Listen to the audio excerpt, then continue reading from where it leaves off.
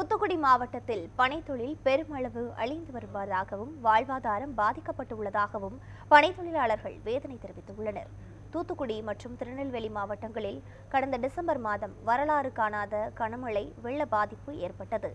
இதன் காரணமாக திருச்செந்தூர் அருகில் உள்ள வட்டன் விளை பகுதியில் உள்ள தோட்டங்களில் வெள்ள நீர் இன்னும் வடியாததால் விவசாயம் முற்றிலுமாக பாதிக்கப்பட்டுள்ளது.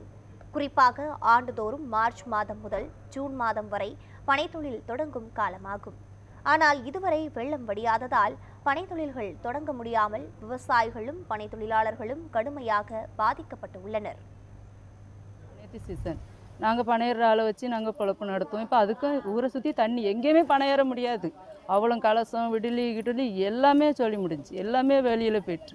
தண்ணி அடித்து எங்கே கொண்டு போச்சு? விடுலி எல்லாம் விழுந்துட்டு.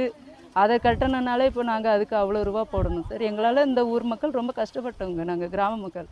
அது இல்லாமல் எங்களால் ஒரு பொழப்புமே நடத்த முடியல. ஒரு அவசரத்துக்கு வெளியில் போக முடியல. சுற்றி வர போக முடியல. கையில் காசு இல்லாமல் எங்கே சுற்றி சுற்றி போக முடியும்? சொல்லுங்கள் நீங்களே சொல்லுங்கள் எந்த அரசுமே எந்த நடவடிக்கையுமே எங்களுக்கு எடுக்க மாட்டேங்காங்க